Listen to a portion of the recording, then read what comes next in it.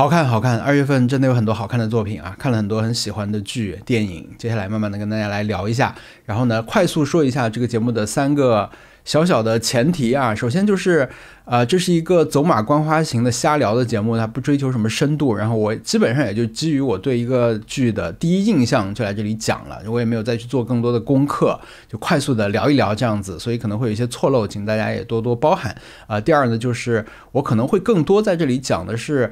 我喜欢一个作品的什么地方，就是我从里面看到的相对正面的东西吧。就是批评的话，我也不太擅长去讲，然后我也不想浪费大家的时间。然后还有就是，我可能没有办法完全在这里避免剧透。就最好的收看和收听的体验，可能还是你看过这个作品以后听我来聊，可能这样会最有意思。当然，还有一种情况就是你本来也不打算看这个剧，那你就当一个故事听一听，我觉得也还行啊。二月份看的第一部电影叫《火山之恋》，这是一部纪录片啊，讲的是一九七零年代的一对专门研究火山的。科学家，我看这个纪录片最大的感受，当然就是它的素材实在是太无敌了啊！你只要看一下它预告片就可以感受到，甚至看它的海报就可以感受到，人很渺小，在火山面前，他们离火山那么的近，他们离岩浆那么的近，他们被。火山灰包围啊，等等那些画面，但是你看到这样素材，你就知道有这样素材，你就已经赢了，就那种感觉。那天看的时候呢，很快啊，特特就跟我说，我已经开始在看他的穿搭了啊，就是看，尤其是当中那位女科学家的穿搭，确实很特别，跟我们想象中这种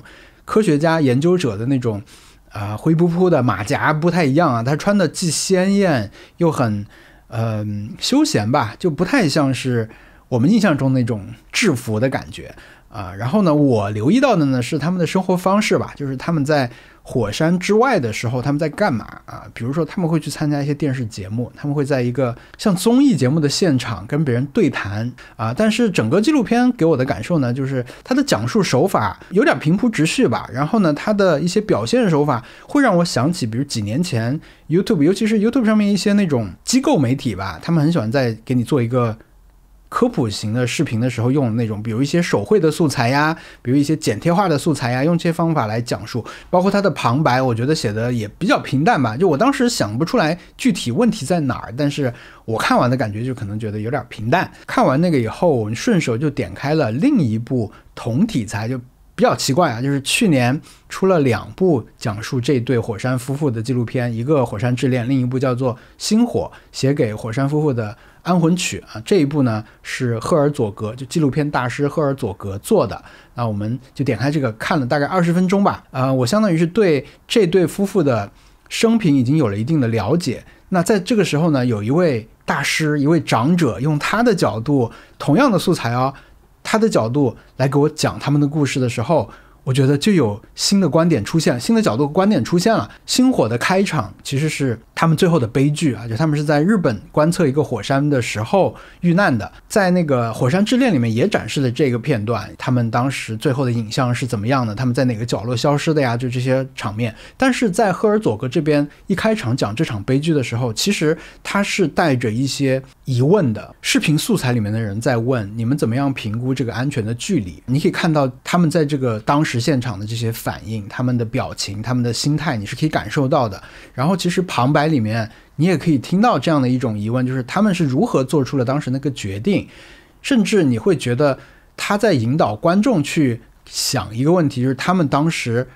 他们当时是什么想法等等。我觉得这些可能你在上一部纪录片里面是不太会去这么去想的，就你不太会去。提问题啊，但是在赫尔佐格这边，他率先就在提问题，会引导你去思考。我觉得这个是两者最大的一个区别。还有呢，就是当中这位男的科学家，他其实他对火山感兴趣，是因为第一次他爸爸带他去了一个火山，他去了那边以后，离火山很近，就被火山给震撼和征服了，就类似这样一个感觉。但是在星火里面是怎么讲这个故事呢？你可以实际看到那个小男孩第一次去到的火山，它不是一个绝境，它不是一个特别危险的这样一个，它其实就是在意大利还挺。常见的一种景点型的火山，普通的游客、别的游客，甚至有穿着比基尼和拖鞋就到山上去，也在岩浆旁边拍照的这种游客，就同样的一个信息，但是给了你不一样的画面以后，你得到的这种观感其实是会不太一样。还有呢，就是在他们的观测行为中，其实拍视频或者说拍电影吧，拍影像一直是非常重要的一个部分。他们的生活方式其实跟现在的 YouTuber 或者是 Vlogger 有点像，因为他们就是要。去了以后回来把他们的经历做成影像、做成电影来卖钱的。他们素材那么无敌，确实也是因为他们花了很多心思在拍。那么星火这边给我的一个新的视角就是。啊，当中的这位女科学家，她在影像这件事情上面的参与度，就她在这个工作里面的分工和角色，可能也经过一定的演变。我觉得这些角度都是以前那个没有的。就光是前二十分钟就已经给我足够多的信息量，让我觉得之前看的那个片子，怎么讲，我已经意识到它哪里不对了。就是它跟它的预告片给我的观感是类似，它就像只是把一个预告片加长了一样，它确实很平淡。更重要的是，它像一个经过甲方。审核的一个片子或者脚本啊，那种感觉，他讲的东西都非常的不痛不痒，但是在赫尔佐格这边，这些东西都被质问或者被更深层次的这样展示给你看啊。好，接下来是今年年初的一个重头戏，就是《最后的生还者》的剧集版。我的最大的感受就是我什么都不记得了，就我真的在看每一集的时候都感觉到。我怎么不记得有这个事儿？而且有时候它都不是很细节的东西啊，它是很大的事件，我都不记得有。我就看一集剧，打一段游戏，然后再听一段他们的播客啊，以这样的方式来重温这样的一个故事。那我后来也理解了，确实虽然最大的剧情是一样的，但是它还是有很大幅度的改编啊，所以不能全部怪我。确实我忘了很多事情，但是不能全部怪我。所以你要怎么去改编这样一个本来就已经被公认为叙事很成功的作品呢？他们真的是在剧集这边。想了很多事情为聚集的观众来服务啊，就是真的是从零开始，不去假设你知道很多东西。比如说，它这个里面有一个怪物叫寻生者嘛，就是它的整个的脸像一个开花的这种，是一个是一个菌啊，就是挺吓人的。但这是这个游戏的一个代表性的一个敌人，在游戏里面其实挺容易遇见的，而且挺难打的。甚至就连怎么样让电视观众能够认识这个角色、这个敌人、这种这种寻生者，都是他们的课题之一啊，因为。它不像你不像打游戏啊，打游戏的时候我们面对着这个敌人，我们会通过我们的双手、我们的眼睛、我们的大脑和我们每一次被他杀掉以后的这个反思的这个事情，就是我们通过行动去认识，我们通过战斗去认识这个敌人。但是电视观众是没有这个机会的，电视观众需要被直接介绍这个。据说他们跟这个。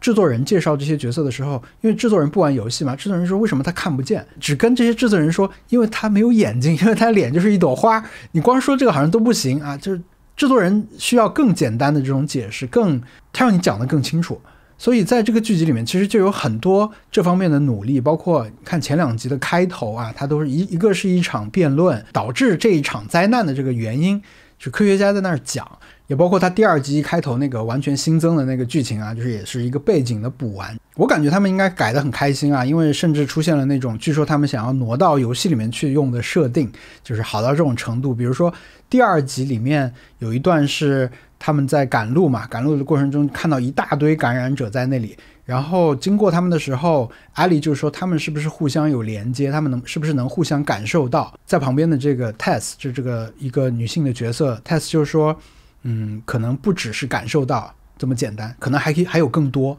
就这种一句很简单的台词啊。但是如果你再看一会儿，你会意识到，这个时候其实说这话的时候，泰斯其实已经感染了，他其实是这些感染者的一份子了。所以那句话会让他当时整个角色会变得。你可以有有一个更丰富的维度去想象它啊，我觉得这个是游戏里面没有的设定，这也是他们觉得好像游戏里面可以用一用的这种设定。然后这里当然有一个名场面要详细的展开讲一下，就是这个剧的第三集啊，当时刚出的时候评价就很高，嗯，我看了以后也是觉得不负期待吧，确实是很厉害，因为第三集它相当于是一个。完全原创吧，基于游戏里面角色的一个原创的剧情啊，它讲的是游戏里面的两个 NPC 他们的感情故事啊。嗯，这这集两个角色，一个叫 Bill，一个叫 Frank，讲的是从这个灾难一开始的时候，Bill 本来是一个这种生存主义者啊，就是本来就是会在家里面囤很多武器啊，囤很多粮食装备这些的人，那他。很早就为这个灾难做了准备，但在这个小镇被撤空之后呢，这就完完全变成了他一个人的天下。他就按照他以前的计划，就把这里布置成了一个很安全，然后又可维持运转的这样一个地方。那有一天呢，来了一个不速之客啊，就掉到他陷阱里了，讲了他们两个人的一个感情故事吧，就是他们在这个之后的这几十年里面一起相依为命啊，这样一段美妙的时光啊，这个是跟。呃，游戏里面不太一样的，游戏里面也没有一个篇幅给你讲这么长的一段这种感情故事。游戏里面他们俩也有，他们也有一些功能，但是呢，他们并没有能够有那么多的戏份去讲述他们详细的故事，而且两个人的结局其实安排的也很不一样。能够那么大幅度的去改变剧情，但是呢，他改的又如此的妥帖啊！因为他们俩就是在一开始认识的时候，你会觉得这这有点像是那种我们经常看那种末世片，像什么《Walking Dead》呀、《十一号站》呀这种里面，它都会有，就是人跟人不相信嘛，人跟人的怀疑。但是他很快就到了说，这两个人开始决定开始一起生活，然后两个人的性格又完全不一样，一个是。始终很小心向内的，另一个呢就觉得我们应该更开放一点，我们应该去找朋友，我们应该跟别人一起联手，我们去互相帮助啊什么的。这也让他们跟后来的 Joe 啊、Test 这些角色去建立了联系，跟我们的所谓的主线剧情有了更多的连接。这一集之所以好，首先是它制作上面的很多细节做得很好啊，包括演员的选择，包括音乐的选择，大家可以去听这一集播客啊，我觉得讲了很多细节。但我觉得重要的是这个故事的这种。它太像一个童话了，尤其是像那种在一场灾难过了之后会被人转发一下那种很温馨的一个故事。但是呢，这个故事本身它又会有一些逻辑上或者说时间上的一些悖论啊。就是说，如果你在一场灾难里面的话，你可能你你不会相信有这样的故事，你不会相信有这么温暖、这么纯粹的一种爱情故事存在啊，或者说在这个灾难里面的人，很多人是看不到这个故事的结尾的。那在这个故事结尾之前，这个故事是非常脆弱和不可靠的。但也正是这样的一种矛盾的感觉啊，可能会让我们，就尤其是大家全世界的人都刚刚经历了一些或多或少类似的状况以后，会挺愿意相信或者羡慕一下这样一个童话的故事。其实这一集完全可以被看作是一个单独成篇的。The Last of Us 的一个故事啊，因为它讲的也是两个人如何互相的保护，如何应对这一场灾难啊，在这个游戏里面成了最后的赢家啊。虽然他们的命运跟游戏里的角色最后不一样啊，但是在剧情版的这个安排里面，显然他是更幸福。我觉得他也是更接近胜利的那一方啊。他们就是这个游戏通关的人。嗯，其实尤其是里面 Bill 这个角色，他本身是一个末日生存主义者啊，就是这样的人，他本来本来已经完全有能力自己生活下去了，但是。他很孤独。我在那个播客里面听到一一句很很震撼的话啊，是说整个世界对于 Bill 来说就是一个巨大的柜子，就是比起一个人守在一个这样的基地里面，更孤独的是什么？就是他可能从来没有机会倾诉过自己的感情，他从来没有过机会，可能以后也没有机会，也不可能有机会。但是就是有这么一天，有这样一个人发现了他啊，他完全是被 Frank 发现的。看上去是他在那个坑里发现了 Frank，但其实是 Frank 发现了 Bill。后来他们就互相开始保护，这个保护的连接，我觉得做的也很好，因为他留了一封信给 Joe，他说这封信多半是 Joe 看到，那么我的这些所有的装备就留给你了，以后你要去保护 Tess。但其实当时 Tess 已经不在了，那 Joe 要去保护的是 Ellie。然后最后我愿称之为神之一镜的就是那个窗户啊，那个窗户就是里面是去世的 Bill 和 Frank。外面是希望啊，就是开走的 Joe 和 Ellie。更关键的是，这个窗户本身就是游戏的一个目录画面，就是你在每每次打开游戏的时候，其实你都会先看到这个窗户，是这么重要的一个窗户。然后我听播客的时候，他们讲了一个我觉得很有趣的发想，就是他们当时其实是希望每一集都是从窗户开始。他们想拍各种各样的窗户，就每一集剧，他们都从一个窗户开始。呃，现在流媒体不是会有一个那个跳过片头的那个选项嘛？他们想把那个跳过片头的字改成 Press Play，开始游戏。对，当时他们的计划是这样，但是他们拍了很多窗户以后，发现这个不太靠谱，就是表现不出来他们想要那种感受啊，所以他们后来放弃了。但是在这里，他们用了这个画面，真的很厉害啊！就是窗户里面是。幸福的胜利者是的，就是在这样一场战斗里面，你是可以赢的。你赢的方式是爱，然后窗外是希望，就是你们也要继续去加油。然后他又跟游戏的那个开场画面直接是有一个连接，哇，我觉得厉害，名场面，必须是一个名场面。好，接下来呢，我们看了一部轻松的电影，叫做《穿靴子的猫二》。之所以我会看这个第二部，我觉得一个重要原因是它的这个。绘画风格吧，我不知道这这这个质感叫什么，就是它有点像《双城之战》的那种有一种涂抹的感觉，它的画面上面啊，这个挺吸引我，因为我还挺喜欢《双城之战》的这个画面的。整体呢，就觉得跟现在大部分的这种好莱坞动画片没有太大区别。但要说我喜欢里面的东西呢，就是喜欢那只小狗啊，那只小狗我觉得是还挺有时代痕迹的一个角色吧。它第一次出现的时候你不喜欢，等到它后来有一个重要揭示，它讲它身世的时候，你会觉得。OK，我知道你为什么要写这个角色，要这么去写他了。他自称是一个疗愈小狗，对吧？他他是可以给大家当这种出气筒也好，就是讲心里话就泄愤的这种感觉。但到最后，他他他讲自己真实的身世，包括他身上套那个袜子呀，肚子上很多伤疤这些讲给你听的时候，哇，原来是这样！我觉得就很像是现在有一些网上那种 meme 的心理机制。就好像是着火的房间里面说一切都很好的那只狗一样的那种感觉，我觉得这个小狗是很时代特征的一个角色，我也很喜欢这个小狗的存在啊，包括它很多台词都写的很过头，但是你又觉得放在它身上是很 OK 的。比如他跟一个角色去讲一个道理的时候，那个角色说我不相信你，他会顺着那个角色说你不相信我没关系，你相信你自己就可以了，就那种心灵鸡汤硬灌的那种感觉，我觉得也很到位啊。好，下一部作品呢是网飞的这个五 G 家的料理人，这个作品我大概看。看了五集啊之后就不准备看了，故事和角色都不是那么吸引我啊。看的五集里面其实也有一些我喜欢的部分，比如说呃松冈莫优演的这个角色出现的那个时候啊，还有一个我个人比较喜欢的名场面呢，来自第五集啊，也就是这一集里面有一个抽奖券的一个故事吧，他特别想要一个。商店街上抽奖的头奖是一个土司机。这一集里面，相当于是大家在各种机缘巧合的情况下，就会获得一些抽奖券，但最后呢，这些抽奖券就一点一点。汇集到他手上，他每拿到一个，他就把它贴在冰箱上面。最后呢，凑够了以后呢，他就最后出发去抽奖。那最后呢，他就是没有抽到这台机器，他只抽到了一箱苹果，一箱来自青森的苹果。他很费劲的搬着这一箱苹果就回去了。这个苹果对他来说也没有什么稀罕的，甚至他本人他们就是来自青森啊，他们也最近刚收到一箱苹果，就这个奖特别没有意思，表现的是这个。那我其实很喜欢这个地方的一个处理，就是他前面的铺垫呢，就是。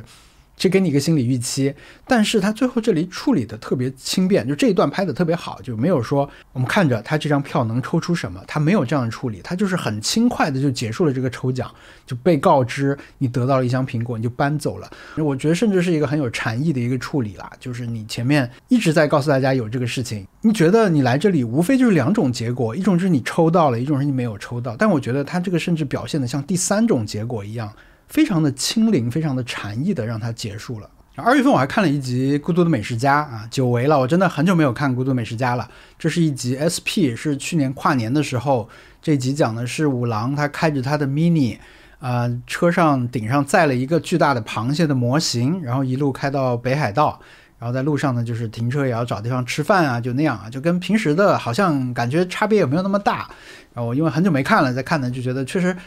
有很多很熟悉的这种元素在啊，包括他那台词真的写的太好了。就在随意找到的一家这种小吃店吃了以后，就发出的各种感慨。这家店就是北海道本身呐，就是这种京剧随口就可以说出来啊。然后看的时候也有一点点的这种悲凉的感觉。以前我有一期视频的标题叫做“就算是银魂这么讨人喜欢的东西，也不是每个人都会每集都看的”，呃，这么一个意思啊。我觉得《孤独美食家》跟银魂也类似，就是你知道。它是很稳定、好看的一个东西，你知道，你去看这个剧就可以获得那样的一个心理的体验，但是你不会真的每集都会去看它。我我不会每集都去看它，我知道它一直在那儿，我想看的时候可以去看，但是很可能你就很久不会去看啊。对，有点像是重启人生里面，呃，两个角色聊天的时候说的那种。有平时大家都不去那个店啊，等到那个店要关门了，宣布自己要一个月以后要关门的时候，就大家会抢着去一下那种那种事情啊，有一点那种感觉啊。接下来又是一部热门作品啊，《重启人生》，这是日本的搞笑艺人笨蛋节奏的一部新编剧的作品，讲的是一个重启人生的故事啊，就像它片名一样，这是一个穿越或者说重重生的这样一个故事。如果你以前看过笨蛋节奏的故事的话，你会对它里面有一种。气氛非常熟，就是他对人生或者说日常生活中很多非常细微角度的这种观察和展开和吐槽，这个是笨蛋节奏的作品里面最有标志性的东西。但是这部剧，我觉得它还是沾了这个类型的一个光啊，就是因为重启嘛，就穿越，大家都很熟这一套的理论，但是在里面又看到了一些不一样的发展，可能是这样子一种。吸引力啊，让很多之前不看他作品的人也被吸引进来了。我们有句老话叫做“一旦接受了这个设定，就会很喜欢这个作品”，对吧？那么我觉得对于笨蛋节奏来说，对于重启人生来说啊，就是一旦接受的这个设定，这个重要的设定不是穿越，而是笨蛋节奏式的这些观察和吐槽啊，这个是他的作品里面最核心、最特别、最有吸引力的东西。当然，他现在推出了很多作品，其实都会有一个。一说出来好像就很吸引人的概念，但是这些概念下面包装的其实是他自己的这种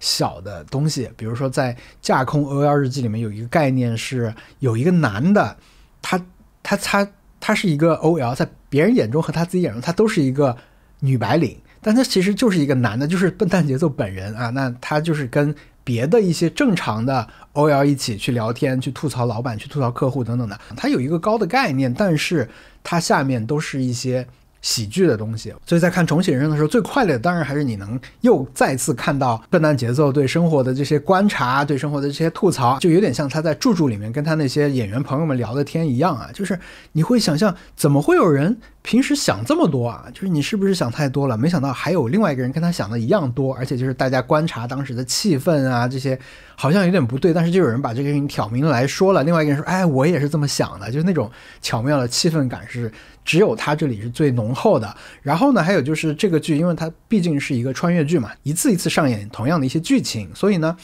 看这种所谓的浮现回收啊，日语叫浮现回收，其实就是我们说的伏笔或者是 callback 回马枪啊，都可以。在看第一集的时候，觉得很无所谓的一些剧情吧，或者说有点勉强，不知道为什么要说这些的剧情，其实到后来都会在某个时间点上面变得有意义起来啊。而且因为它是多轮的这个重生，所以我觉得它做到了，你其实可以在看这个剧的过程中。在不同的阶段再回来看它的第一集啊，它的很多你即使你一开始觉得没有意义的台词，你看了第五、第六集的时候，可能某一句台词会突然变得有意义。我觉得这种像游戏一样的感觉是很棒的啊，所以现在看到第八集以后，就会很好奇他最后怎么去收尾，因为嗯，老实说。因为在这个剧的第八集出现了一个倾向，就是之前好像就是很日常日常好笑好笑，但是突然就有一个凝重的感觉，或者是煽情，或者是啊好感人这种 这种事情。那我的感觉可能有一点点不一样，就像刚才说的，我是一直很享受它这种日常的片段的，基于这种穿越的这这个设定去开的一些小的玩笑，我也很享受。但是呢，在第八集揭晓了一个关键剧情的时候。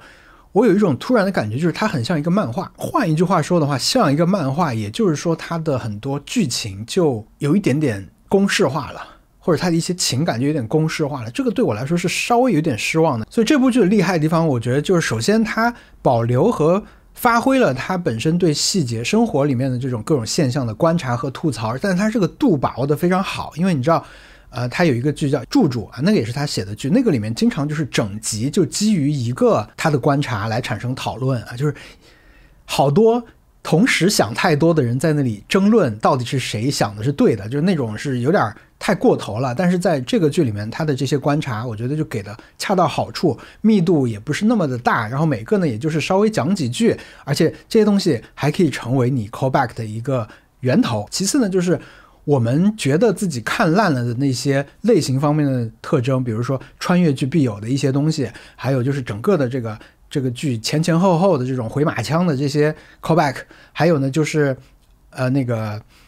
时代痕迹的一些东西啊，就比如说呃交换贴纸啊、聊电视剧啊、拍大头贴啊这些事情，还有流行音乐啊，所有的。这三个东西全部都有它的痕迹，它处理的我觉得也很好。就比比如说它那个转世的那个过程吧，因为比如我们刚看匹诺曹，匹诺曹是怎么转世的？匹诺曹死以后去到一个地方，有一一堆人在那里打牌，然后还有一个女王一样的角色在那里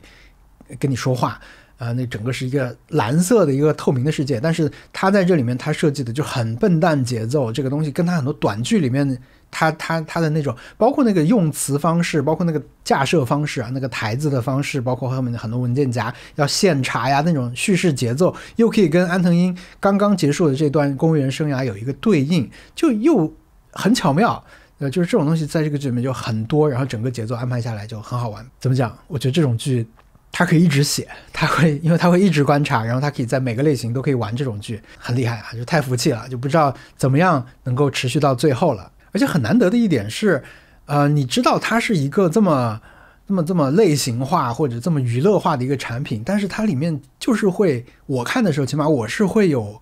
被感动到的。很多时候，它未必是说可能到了一个大剧情的时候啊，就是很煽情、故意煽情那种时间点，它可能不是。很多时候你就是很感慨那种，比如有朋友的存在很好，朋友在保护你，或者是人一下子死了，果然不太好啊，就类似这种。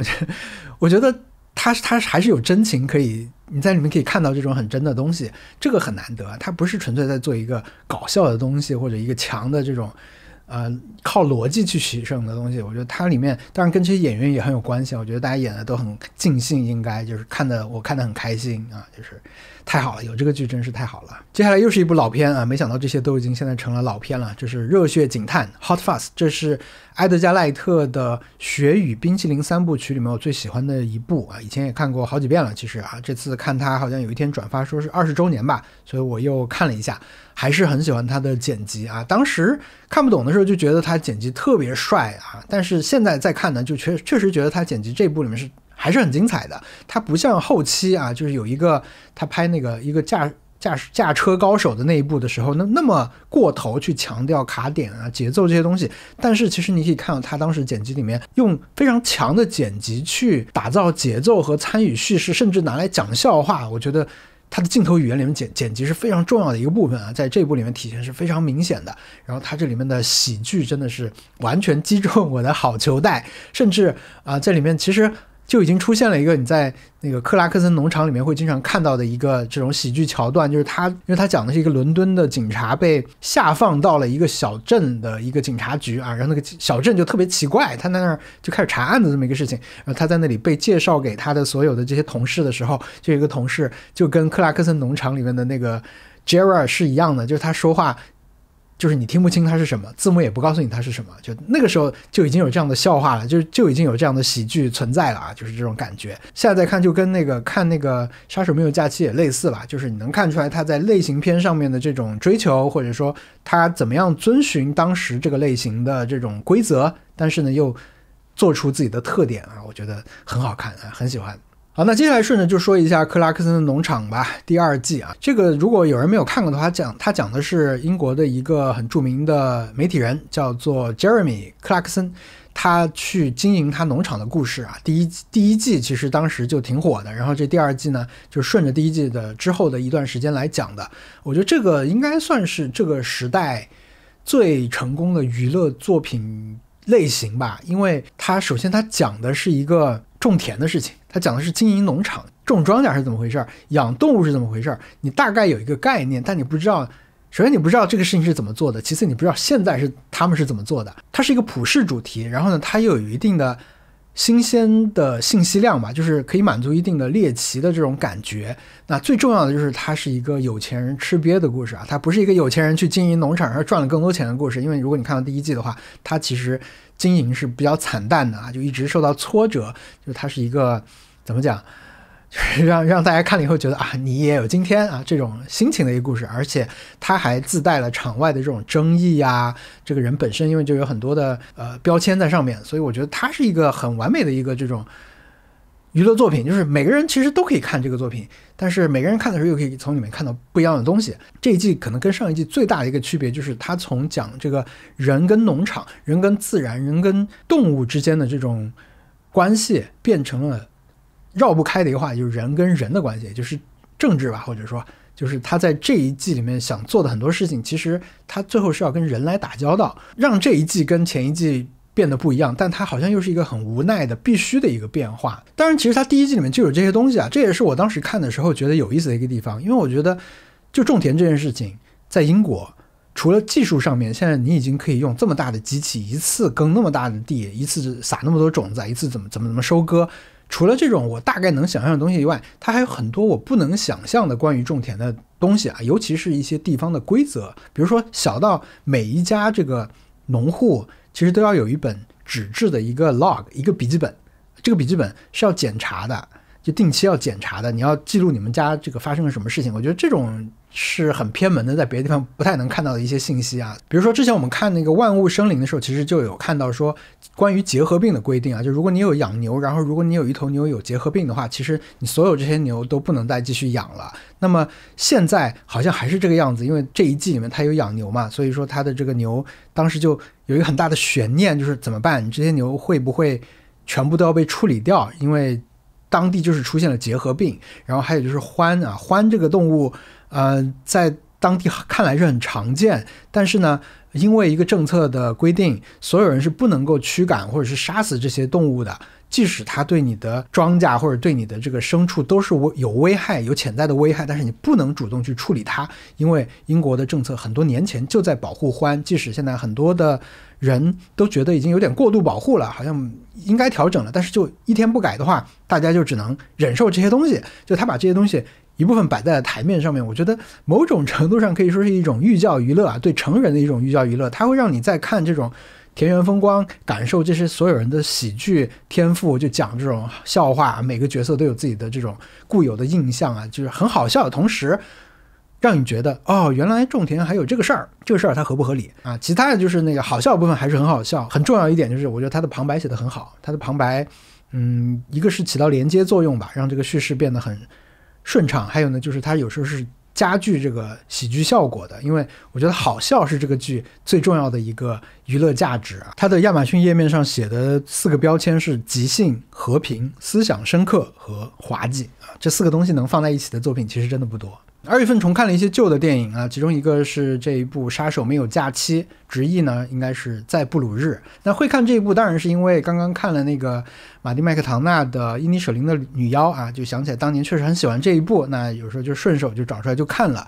呃，观感呢，首先就是忘了很多东西，你只能零星的觉得啊，马上要怎么怎么样了啊，就确实就发生了这件事情。呃，然后意识到他的这个台词写作的高明啊，因为我觉得这部电影，尤其是前半段台词写的实在是太好了，只有很聪明的人才能写出这么呃看起来蠢笨的这种角色的台词写的那么好，我觉得太高明了。而且他在前半段基本上就是每一场戏结束之后到下一场之间的那个过渡的对话写的太好了。最重要的。特点就是它的这个幽默感，我觉得实在太棒，现在看一点也不会过时，而且原声还是一样的好听，我还是一样的喜欢那个原声。好，接下来我要讲的是我在二月份最喜欢的一部电影《惠子凝视》，这也是电影寻报刚刚评选出来的二零二二年十佳日本电影的第一名啊，就是三宅唱导演的一个新作。惠子呢，当然就是女主角的名字，就是有原型人物存在的。电影是改编的这位。